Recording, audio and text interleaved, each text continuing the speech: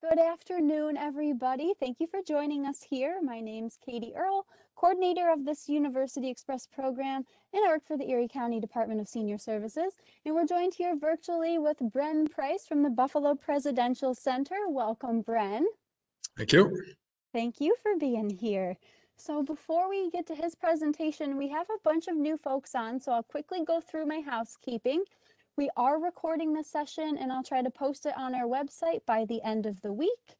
You've joined muted and without your video showing, and it's not because you've done anything wrong. That's just because those are the settings for our program here today.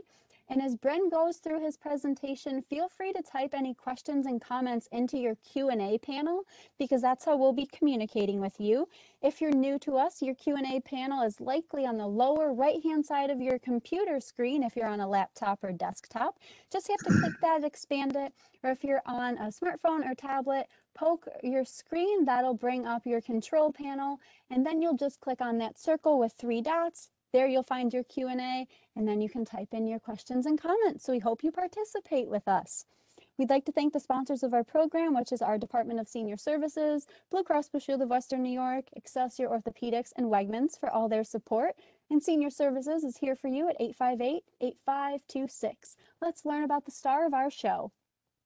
Bren T. Price Sr. is a retired school teacher, administrator, and educational consultant who now serves as a trustee of the Buffalo Presidential Center.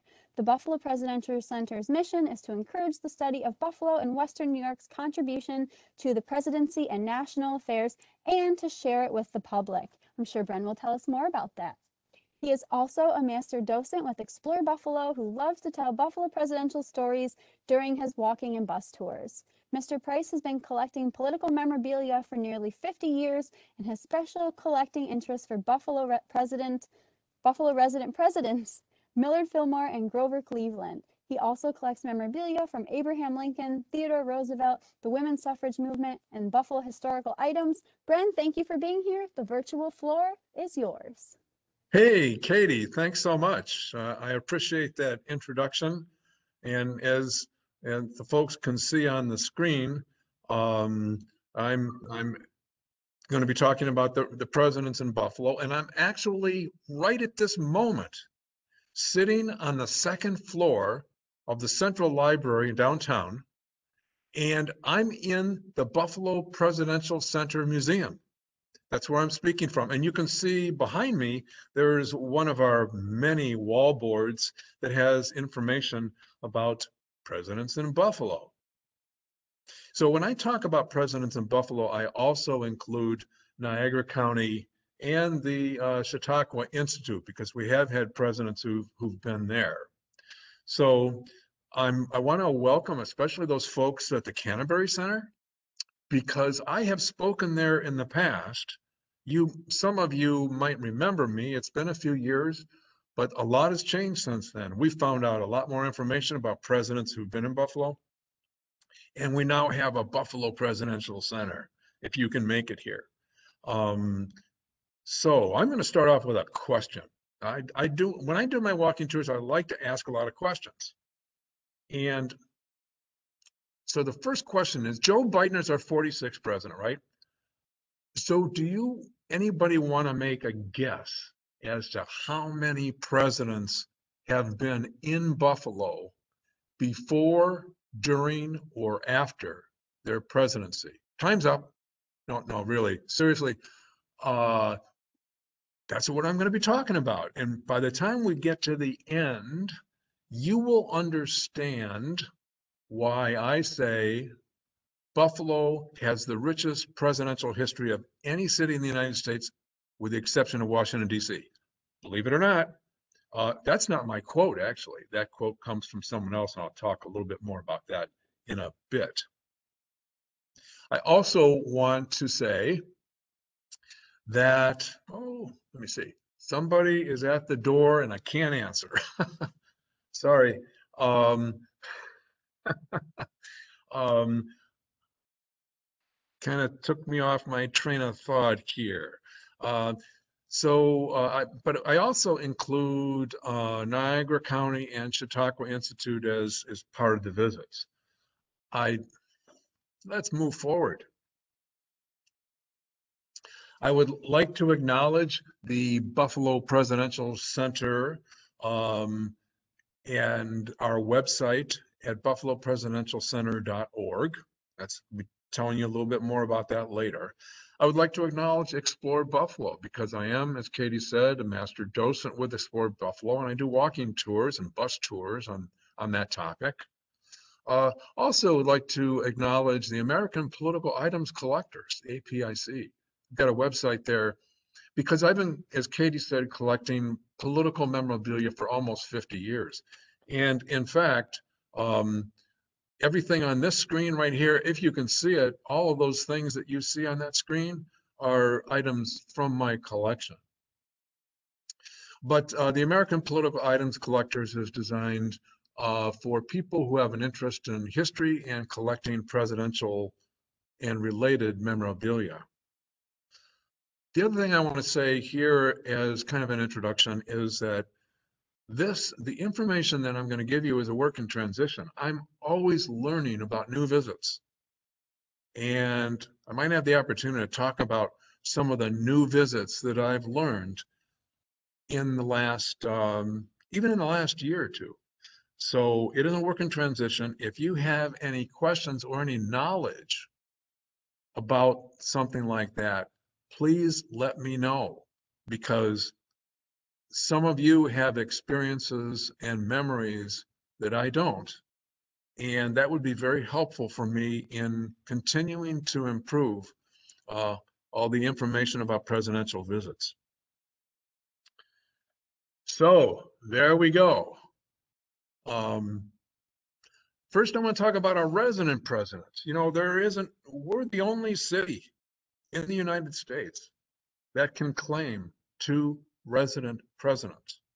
Now, neither one of them were born here in Buffalo, but both of them were residents when they were elected president or when they became president. First of all, we have Millard Fillmore. He was born out in the Finger Lakes in 1800 and uh, served in many capacities, first as a lawyer here in, here in Buffalo. And um, it was actually in 1832, he was actually one of the lawyers who wrote the city charter. And um, and they became very active in the Whig Party early on. And uh, uh, but he was elected uh, our 13th president, and he succeeded Zachary Taylor, who died in office. That was that was the second time in a decade that a vice president took over for a president who died in office, the first being uh, William Henry Harrison in 1840. But Millard, um, he, so he took over from 1850 to 1852, and it was actually a very tumultuous period of time. Um, people think that this, these times are really, uh, are really conflicting. Uh, it was in 1850, and probably more so. Uh, he was not reelected in 1852. Um, the Whig Party kind of uh, fell apart, and he was quite unpopular because of some of the stances that he had. Um, and he ran unsuccessfully also in the third party, which was known, it was the American Party in 1856. It's also known as the Know Nothing Party. And they were nativists.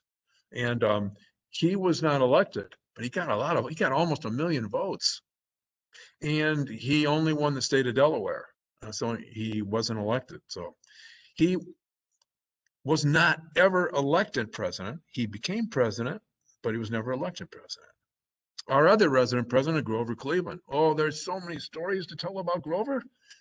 You'd have to go on my walking tour or my bus tour to find out all of those. We just don't have time for it today. But he was our 22nd and our 24th president.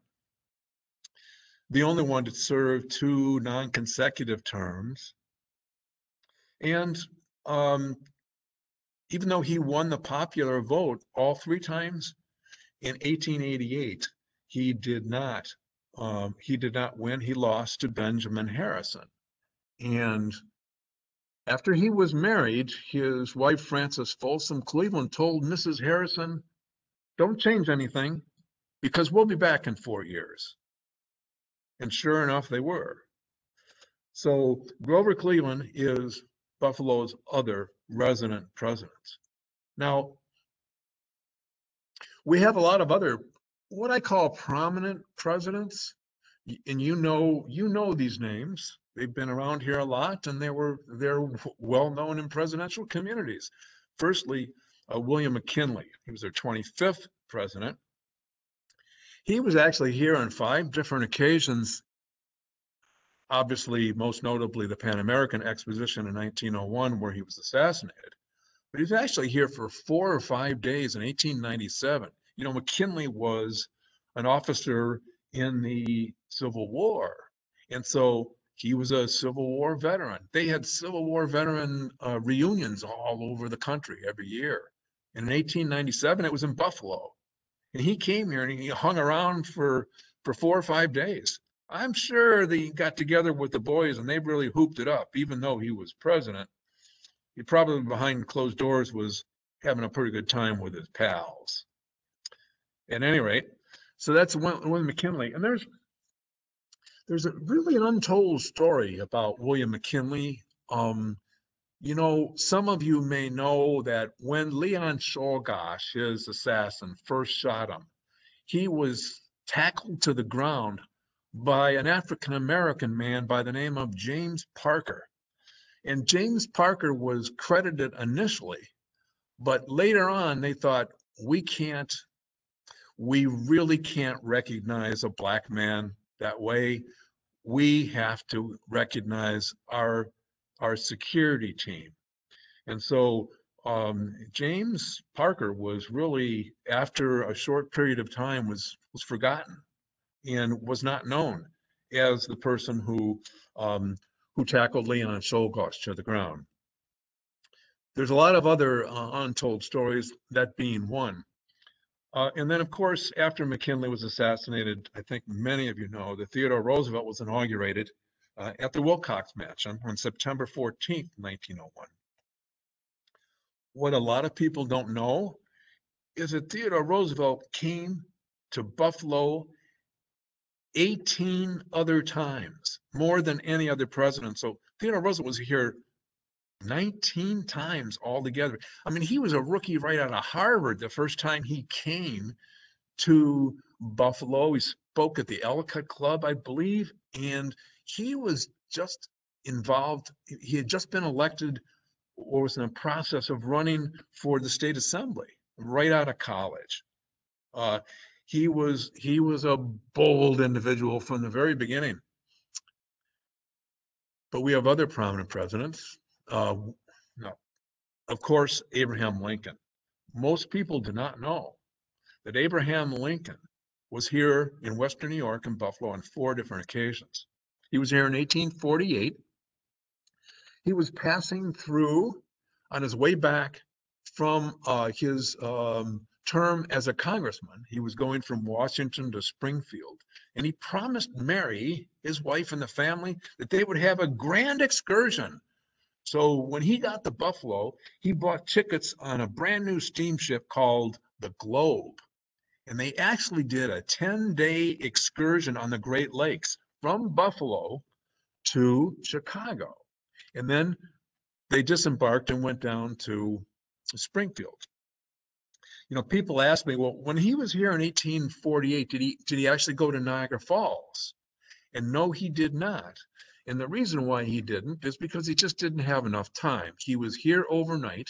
He just wanted to check out the thriving commercial district at the waterfront because Buffalo at that time was growing and was just there was a tremendous amount of commerce coming from the west in the in the form of grains, and there were a lot of people going uh, going west and grains coming east on the Erie Canal. So, but he didn't have a chance to go to Niagara Falls, but he did in 1857 because he was headed to New York City, and it's a really interesting story because he had represented the Illinois Central Railroad in Illinois as a young attorney, and they were being sued by the counties in Illinois for more taxes.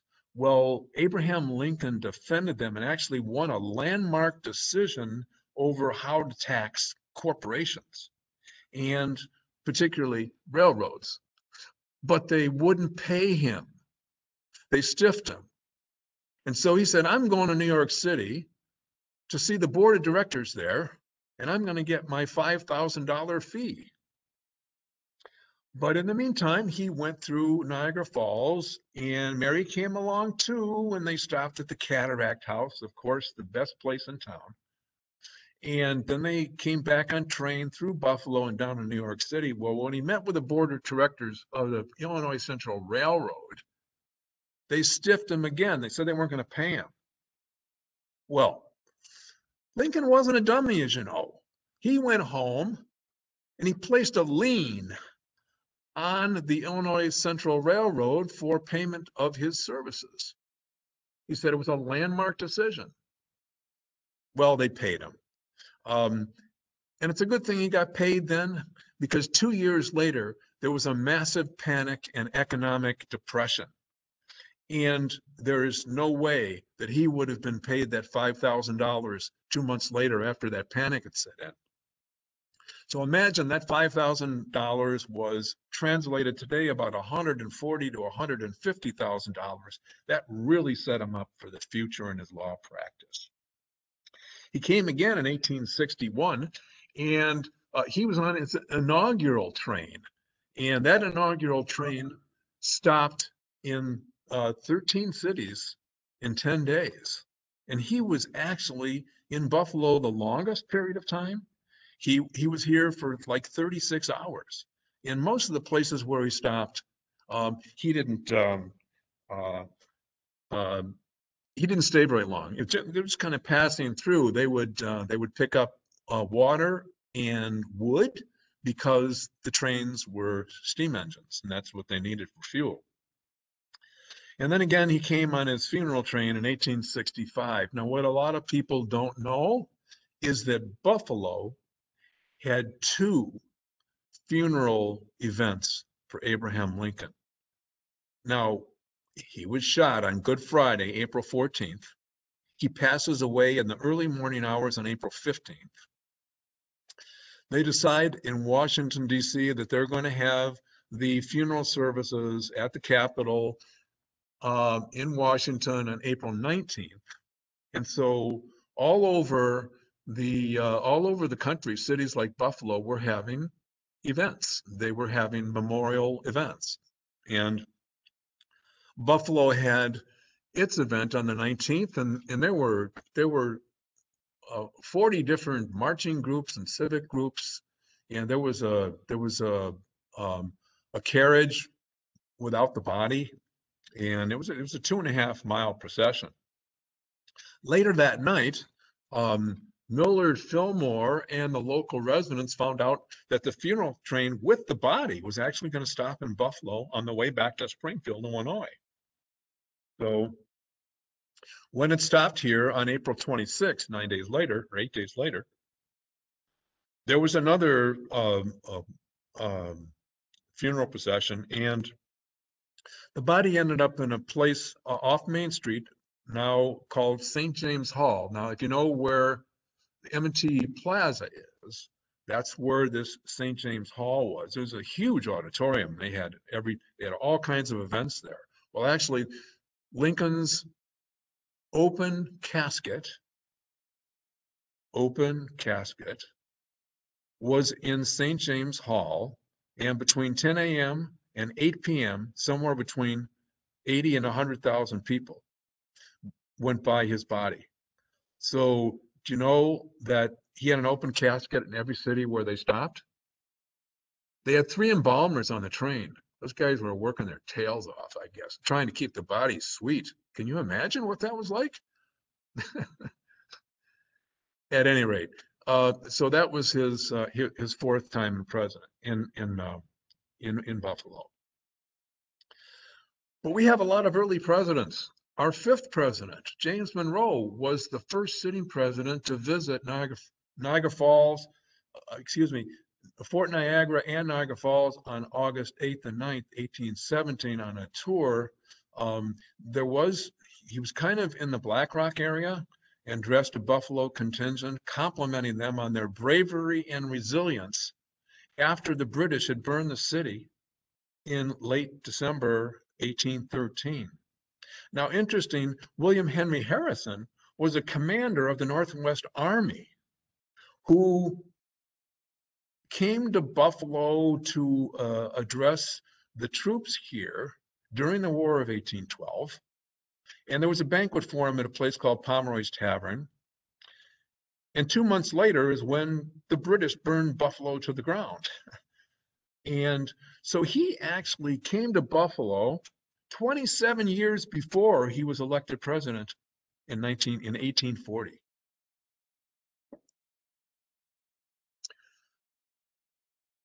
Now, some of our early other early presidents, because there were many of them who were here, John Quincy Adams visited Buffalo twice after he was president, and he actually went to church services with Millard Fillmore um, in the uh, in the Unitarian Church at 110 Franklin Street. It's, the structure still stands.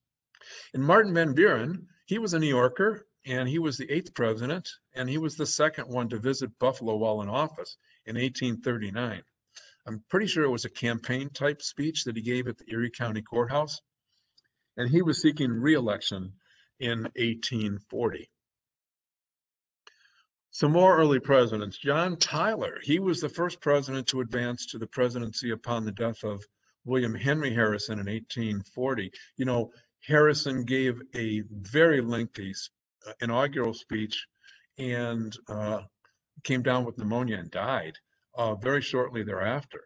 But John Tyler, as the president, you know, he was one of these vice presidents that wasn't very well respected. And he, so he's quite unpopular, especially with the Whigs. But he did uh, he did come to Buffalo um, in after he was president in um, in 1851. Uh, also, Zachary Taylor, um, Zachary Taylor was Millard Fillmore's president who died in office. We think that he visited the Poinsett Barracks, which is now the site of the Wilcox Mansion, you know, where Theodore Roosevelt was inaugurated. He came there prior to his presidency. Uh, we're not exactly sure we know when. If any of you people were around then, you want to let us know? We um we we could use your help on that one. Uh okay. I get it. Okay, so, but he did travel here as our 12th president in September of 1849 uh, on a steamer uh, again, and he visited Black Rock and Niagara Falls. Uh, that would be uh, shortly after uh, Abraham Lincoln had been here. So some of our presidents who came after Lincoln in the post-Civil War were Andrew Johnson. He came here um, after succeeding Abraham Lincoln. He was here just once. He came by rail from Niagara Falls uh, in 1866 as part of a Goodwill tour. Uh, that Goodwill tour was a huge failure. Um, Andrew Johnson was particularly unfavored and he was not popular received here. When he did speak, he was given a very polite response. But when Senator William Seward spoke and when Admiral uh, or when um, uh, oh one of the admirals spoke, um, they had huge applauses, and um, so and actually uh, Ulysses Grant was with him on that tour, um, but he did not speak at, on the podium uh, because he was sick in bed. Um, you know, from uh, I think they said the night before in Niagara Falls, he might have had just a little bit too much to drink. And uh, they say he was a bit hungover. So he didn't, he wasn't keen on speaking anyway. But he did come here. He was sent uh, as a general, he was sent here with uh, President Johnson to deal with the Fenian raid uh, in 1866. Uh, and he spoke at Chautauqua Institute in 75 and 80 and 83. Um, so he really did pass through Buffalo in 1880. He was hoping to be uh, come the next third, uh, the next president uh, to. Uh, he was actually seeking a third term, but that didn't work out so well for him. Rutherford B. Hayes, he won the very controversial election in, in uh, 1876. We're not sure, we still haven't found out any information about whether he actually did come through, visit Buffalo. As of right now, we don't think so. James Garfield, on the other hand, was here a couple of times. Um, he spoke at Chautauqua in 1880, and later on, uh, a train excursion uh, brought him to Buffalo, and he was with a couple of his Republican Ohioans, Benjamin Harrison and William McKinley. They were with him on that train, and uh, they stayed overnight at a hotel uh, right about where the D'Youville campus is now. That hotel since burned down, so I don't have any more information for you on that. And we've got to move along. So Chester Arthur succeeded James Garfield and served as the 21st president. Um, we do think he came to Buffalo. There, there is, there was a, a, a Lockport connection. Um, he, apparently his son was engaged to a woman from Lockport and he may have been there, but I don't have any specific um, backup information on that. If any of you do, please let me know. Uh, Benjamin Harrison, we found out uh, not too long ago, was here in 1880 with Garfield and McKinley campaigning. I mentioned before they stayed out uh, by D'Youville campus. Um, it's still in question whether he gave a speech at the fifth annual convention of the National Republican League here. He was very popular in Buffalo at the time. He was supported by the press. Uh, I know for a fact the next day he spoke in Rochester but I don't have any uh, any clear cut information on whether he he, uh, he was here in Buffalo uh, in 1992 campaigning.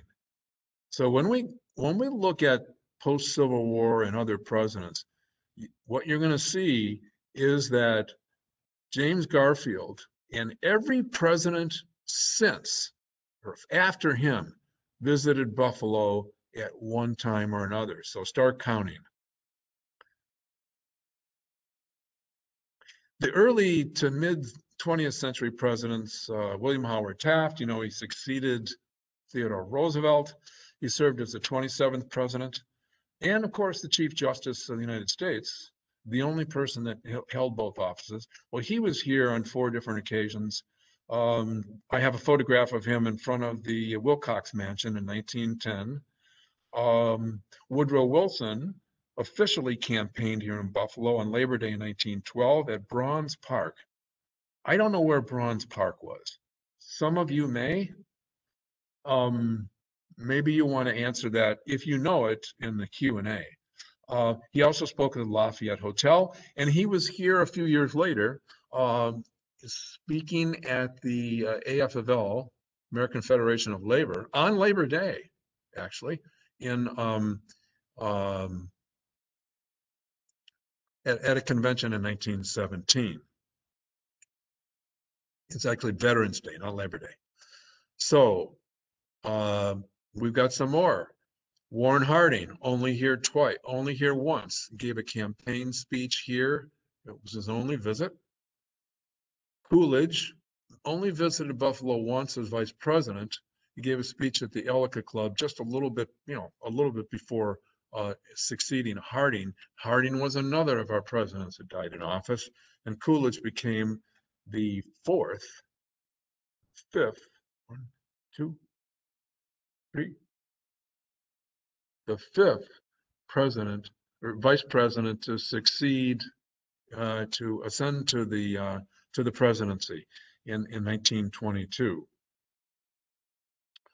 Herbert Hoover was the 35th, uh, 31st president. He was here three times, but before he was president, I used to say that he never came here during his presidency and he never came here after that. But I was giving a program to an antique club in the town of Tonawanda several years back, and I said that Herbert Hoover never came to Buffalo after he was president. And this one lady in the audience said, raised her hand and she said, Oh, yes, he did. I said, Please tell.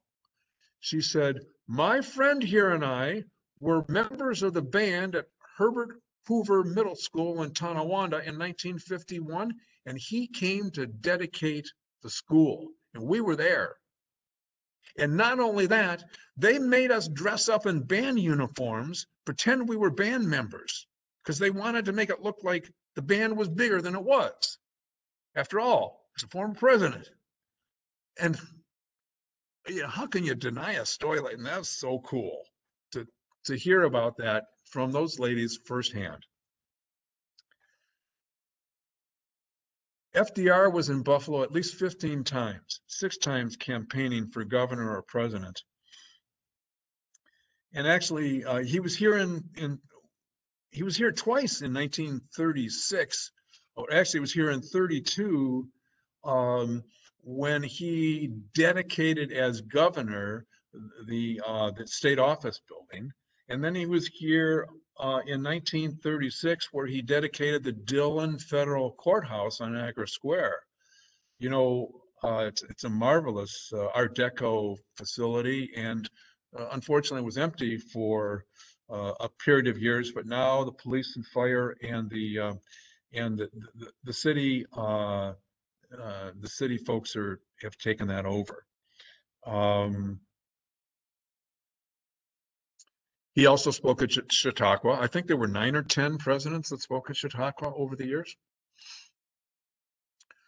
And our early mid 20th century, Harry Truman was a vice president, a seventh vice president to accede to the presidency upon the death of Franklin D. Roosevelt in 45.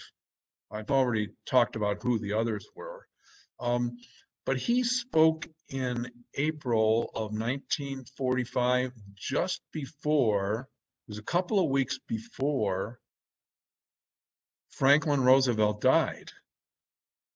And I found this out about a month ago.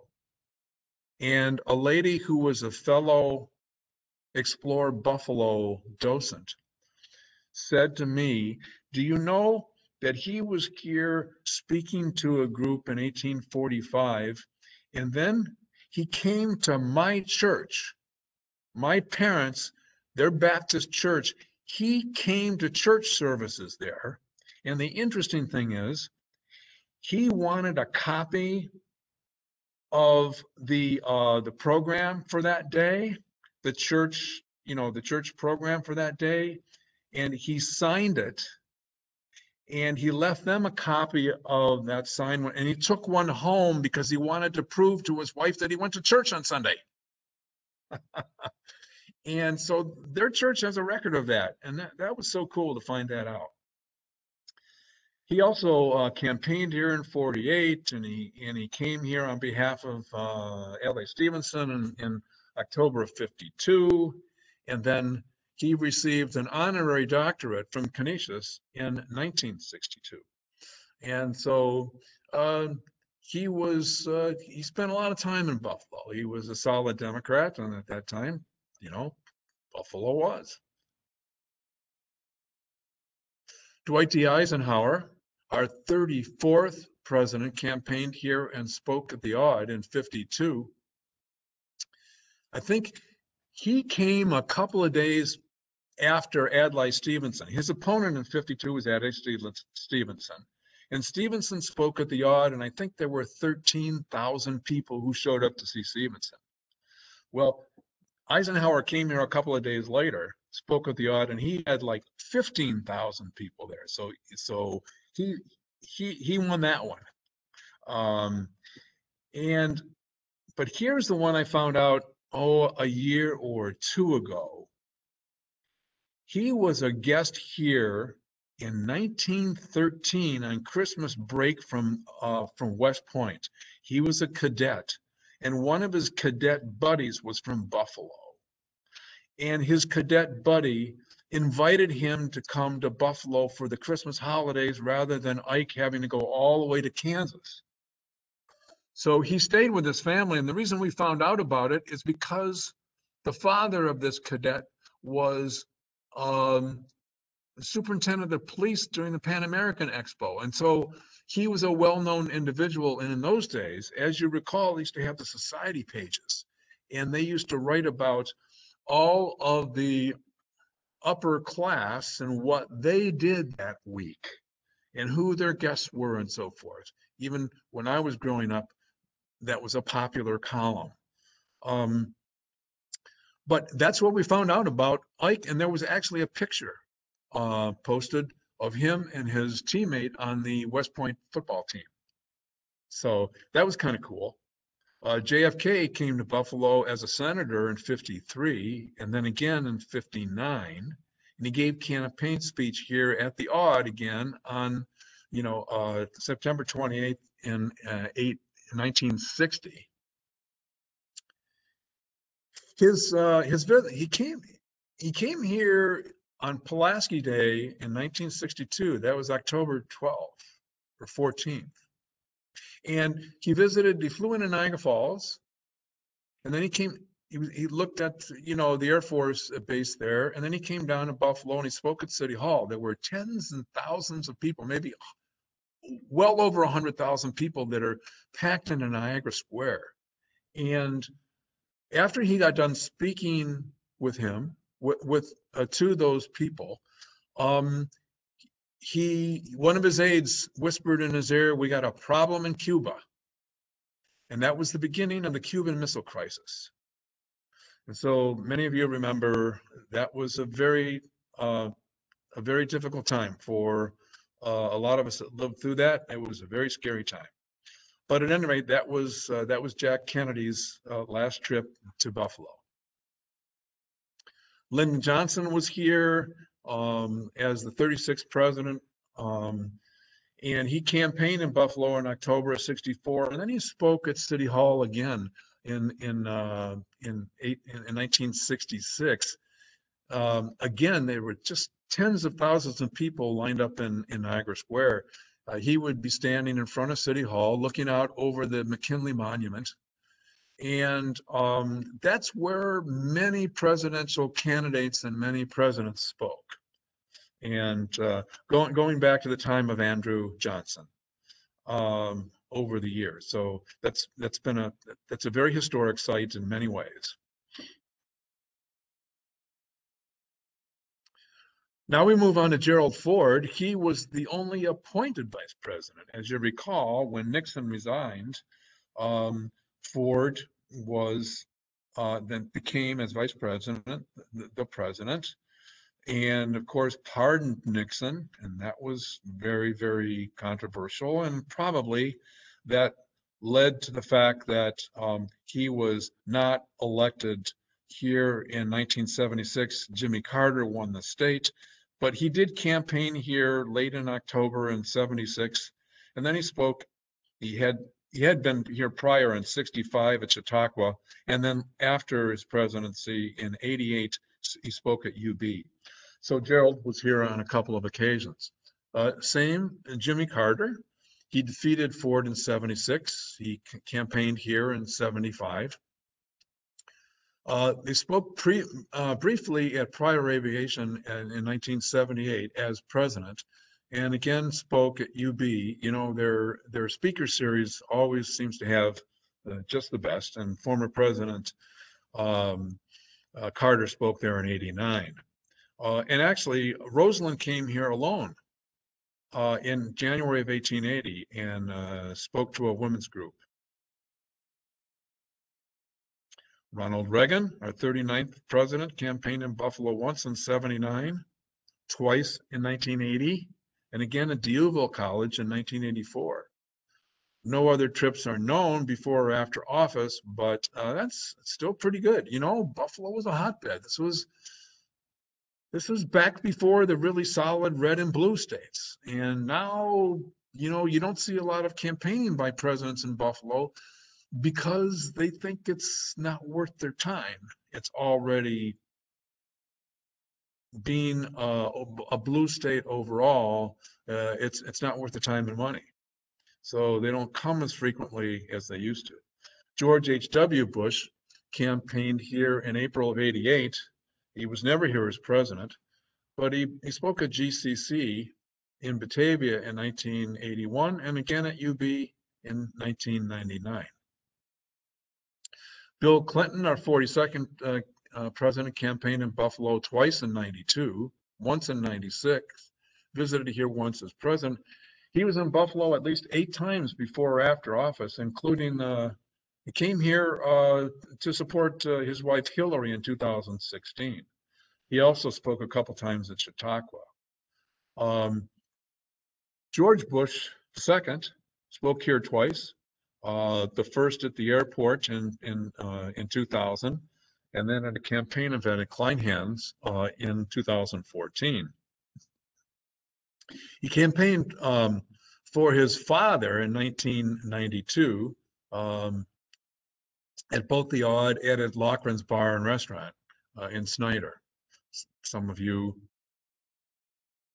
might have dined there before. Um, it's local. Um, okay, so then we're, we come up to Barack Obama, uh, looking at all those presidents from 1980 to 2021.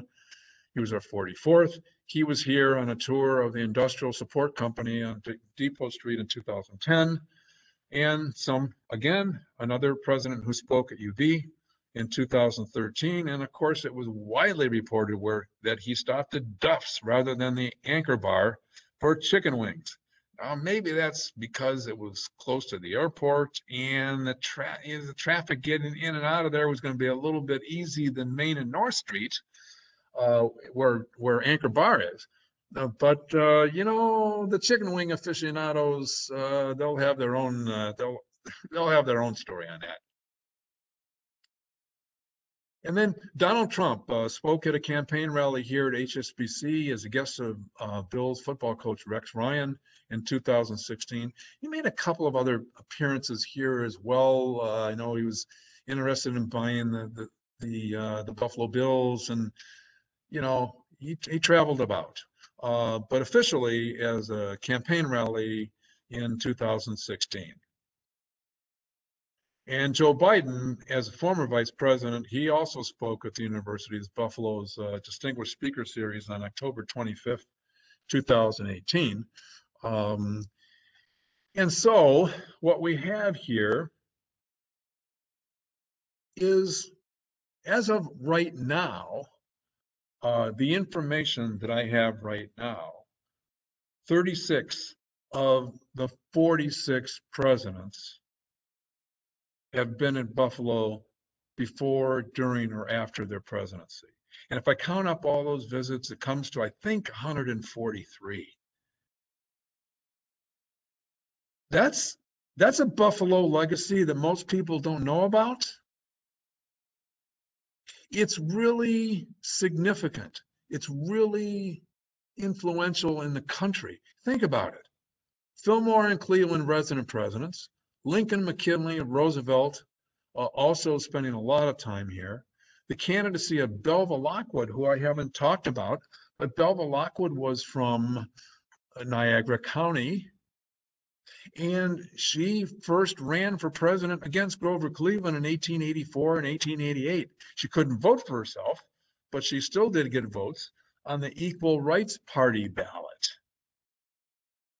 every 20th century president has been here.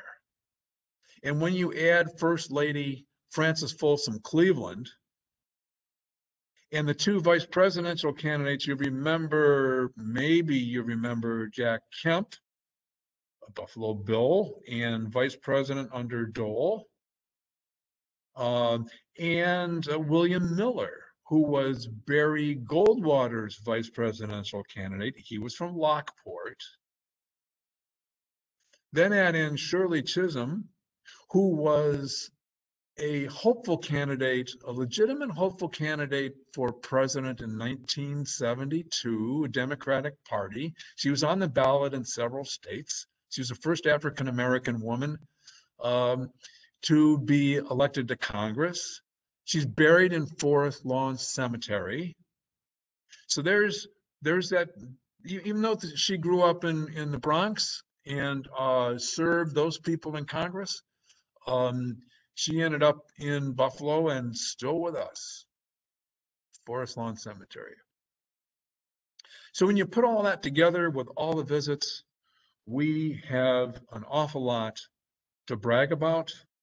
We've got a presidential history that, or a legacy that goes well beyond most cities. In fact, according to Brady Carlson, all cities in the United States, with the exception of Washington, DC.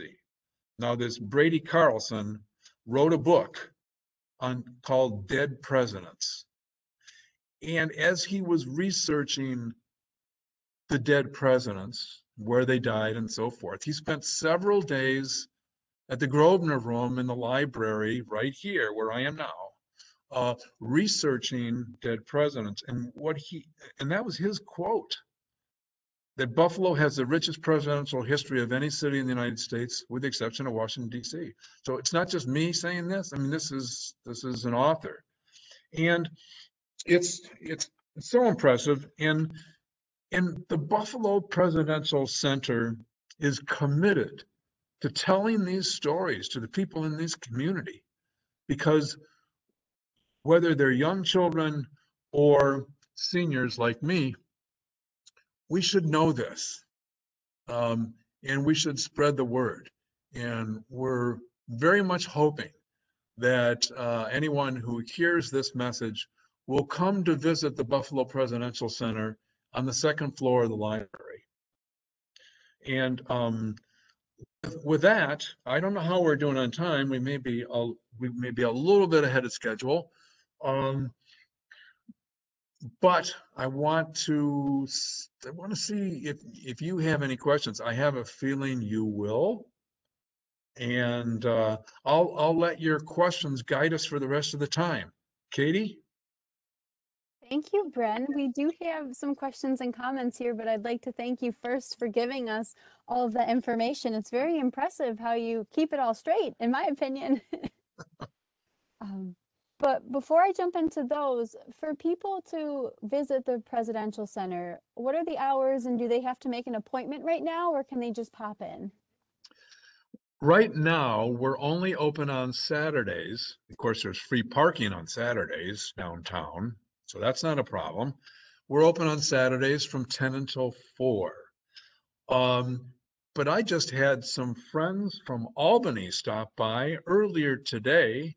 And so if there are groups or if there um, are people who want to make a special appointment, I would be glad to uh, try to accommodate them. If not me personally, then another member of the uh, Board of Trustees of the Buffalo Presidential Center. Hey, thank you, Bren. Thank you for that offer. Um, so we'll start with the comments I'm seeing first. I have, I had no idea about all of these stories. We have, I love your humor, which I second that. Well, I've got a lot more stories and a lot more humor. You just, you gotta, you know, you gotta come down to the Presidential Center or go on my tour because some of the stories really are pretty funny. I'm sure. We have somebody's wondering, do you know where the presidents would stay when they visit? Was it all at the same place? Did they like to do the same things? They, over time, they stayed at different places. Um, uh, I mentioned the Pomeroy Hotel. Um, I, they, they stayed, Lincoln stayed at the American House Hotel, which is no longer there. That was rebuilt twice and AM and A's was there for a while and that's now where Main Place Mall is. Um, they've stayed at the Statler Hotel. Uh, the, the former Statler Hotel, uh, which was near the ballpark, the baseball park. What are they calling it today? It's not Sahlen's anymore. It's, what is it? At any rate, um, and also they've stayed at uh, the, the the Statler Towers. Um, trying to think, there wasn't, there hasn't been a particular place that they would stay, uh, because you know that it would be a bigger place like the Statler Towers. And I can't think of where other presidents had stayed when they visited. They might have come and gone that night because the security issue is big. And it takes so much time and effort to secure a hotel space. I'm sure. Thanks for that, Bren. The next question is, would first ladies usually come with?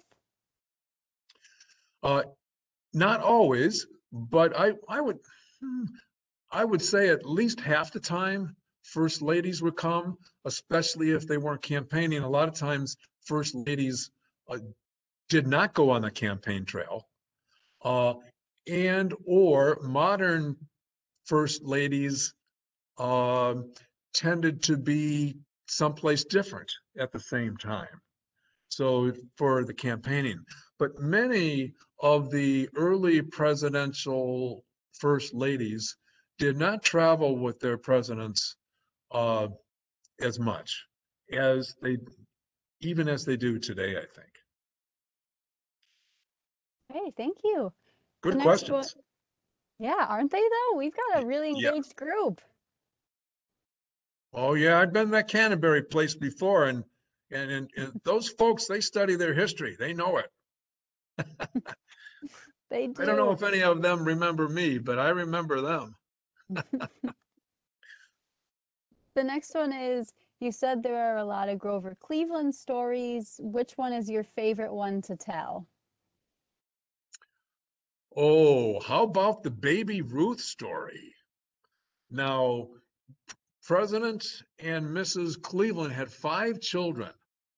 The first three were girls, and the second two were boys. And the firstborn's name was Ruth. And so she became popularly known as Baby Ruth because Frances Folsom Cleveland, being very young and vibrant and intelligent and beautiful, was like the Jackie Kennedy or the Princess Diana of the day. And so when she gave birth to her first child, um, they weren't even, they were, that's, Ruth was born in, in 1891, so that was when he was kind of in between uh, his terms. But baby Ruth was, was this huge personality of her own. And people were fascinated with it. Well, in 1920, the Curtiss Candy Company came out with a candy bar by the name of the Baby Ruth candy bar. And Babe Ruth, the ball player, was wanting to get some royalties on on that because he thought that they had named the candy bar after him. And the Curtiss Candy Company said, "Oh no, we named that candy bar after Baby Ruth Cleveland." So there. Well, that was a little shaky because Baby Ruth Cleveland died in in 1905 she no, 1902 or 3 she was only like 11 years old so how did they calculate that they should name that candy bar after a deceased child um so that's that's really kind of an interesting and funny story and it's still it's still proliferating today and if you talk to George Cleveland, who was actually Grover and Grover and Frances Cleveland's grandson, actual grandson, living today. If you talk to him, he swears by that story that Baby Ruth was named after his great aunt, I guess, um, Baby Ruth Cleveland. But um, I have to lean towards uh, the Curtiss Candy Company trying to uh, cut Babe Ruth out of some extra royalties. So how's that for a story? Did I do okay with that one? I think you s- did great. Let me see. Oh, there are others. I'm sure, Brad. We have um, a couple comments that came through. I'm seeing, thank you so much. Really enjoyed your presentation, learned so much. Looking forward to your walking tours.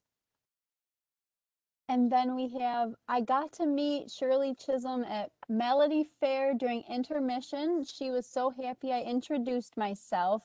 Didn't President Kennedy stop in Lockport? Thank you for all the info. We enjoyed your humor. Can I ask that person, uh, sh- what, does, she- does she know the date or the, the, the day that she met Shirley Chisholm? And where was that again? At Melody Fair in Tonawanda? Uh, Mel, it just says Melody Fair. I'm not sure where, but I, I know it's in, it was in Tonawanda. She met Shirley Chisholm there? Mhm. And when, when was that? Maybe she'll type that back in. maybe she will. I'll let you know if it comes through. Okay. Uh, then the second part of that was, didn't President Kennedy stop in Lockport? Question mark. He may have stopped in Lockport.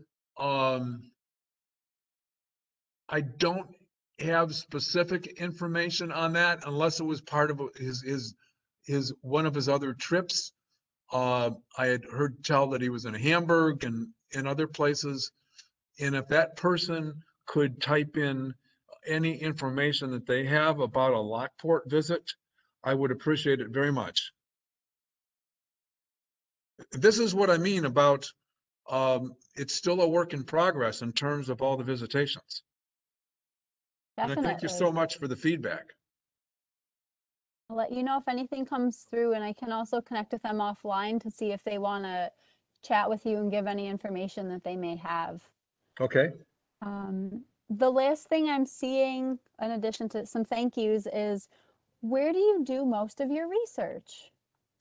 Uh, I've done a lot of my research has been in the Grosvenor Room in, uh, in the library here in, in, in, in, here in the library. That's the research area of the library.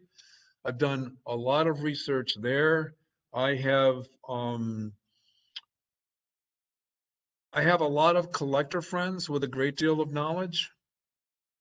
Uh, of course, uh, reading books and journals and magazines. Uh, you know, particularly presidential biographies. Um, I have a, a, a great friend, uh, who wrote a book.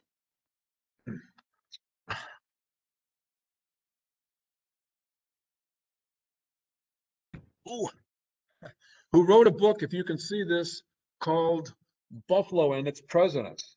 This was heavily researched uh, by Martin Nowak, who used to live in Buffalo, and I, I actually met him in the Grosvenor Room in the library, and he heard me talking about it and corrected me on several occasions.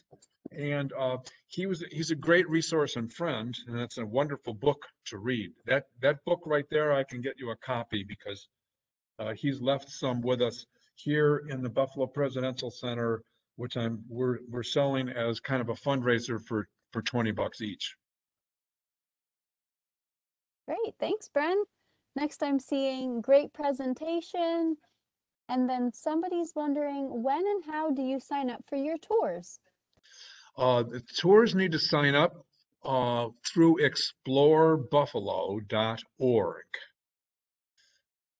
If you if you go there and you can sign up, I um, I typically do about three or four tours a month, uh, either on a Saturday or on a Monday. And when you're signing up, you might want to ask if I'm giving the tour, but there are other people who give the tour who are also knowledgeable. Um, and, and everybody who gives the tours got a little different perspective on things. They might add more in terms of, uh, the art and architecture of the city. Um, they, they might have different stories to tell. So, uh, that, go to explorebuffalo.org. Uh, that's the starting point. And then tell them you saw me and you want to take my tour. Thanks, Bren. I will give a plug for Courtney Speckman, also from the Buffalo Presidential Center. She will be back with us on June 22nd at 2 p.m. for Inside the White House. Oh, that'll be a good one. Mm-hmm. She worked, she worked in the White House Historical uh, uh, Association for 10 years, and boy, does she have some stories. So you want to check out Courtney. Mm-hmm. I'm sure. And so that's June 22nd at 2 p.m. And Bren, I'm just seeing a bunch of thank yous here. So thank you for your time today. Thank you for sharing all this knowledge with us. And to everyone who's on, enjoy the rest of your day. And thank you too. Okay, very good.